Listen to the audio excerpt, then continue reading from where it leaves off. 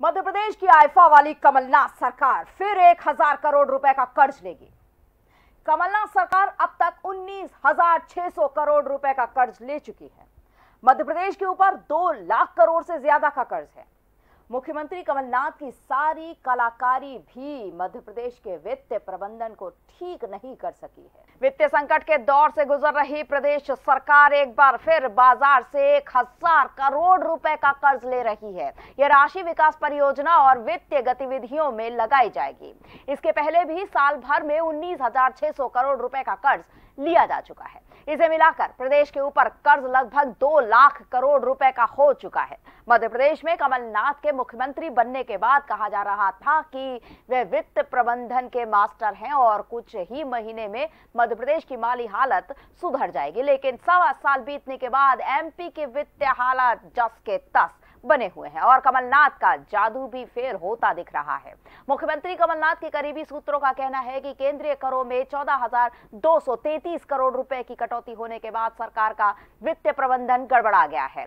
मध्य प्रदेश में लगभग 15 लाख कर्मचारियों और पेंशनर्स का महँगाई, भत्ता और राहत पाँच फ़ीसदी बढ़ाने का फैसला अभी तक नहीं हो पाया है। धनराशि नहीं होने से विभागों के बजट में बड़ी कटौती भी करना पड़ी है। इतना ही नहीं, कई खर्चों पर वित्त विभाग ने रोक लगा दी है। ऐसी सूरत में कर्ज लेने के अलावा कोई दूसरा रास्ता नज़र ही नहीं आ रहा। इसीलिए भारतीय रिज़र्व बैंक के माध्यम से बाज़ार से 10 साल के लिए कर्ज लिया जा रहा है। वित्त विभाग के अधिकारियों का कहना है कि राजकोषीय उत्तरदायित्व और बजट प्रबंधन अधिनियम में तय सीमा के दायरे में रहते हुए कर्ज ले रहे हैं। राज्य सकल घरेलू उत्पाद का साढ़े तीन प्रतिशत तक कर्ज लिया जा सकता है।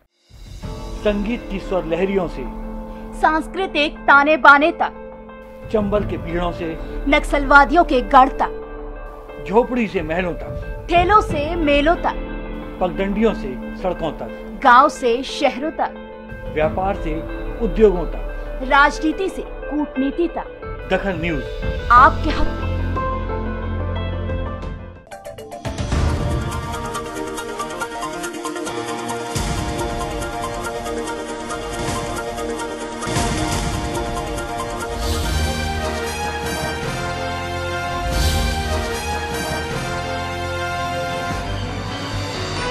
आप देख रहे हैं दखल न्यूज़।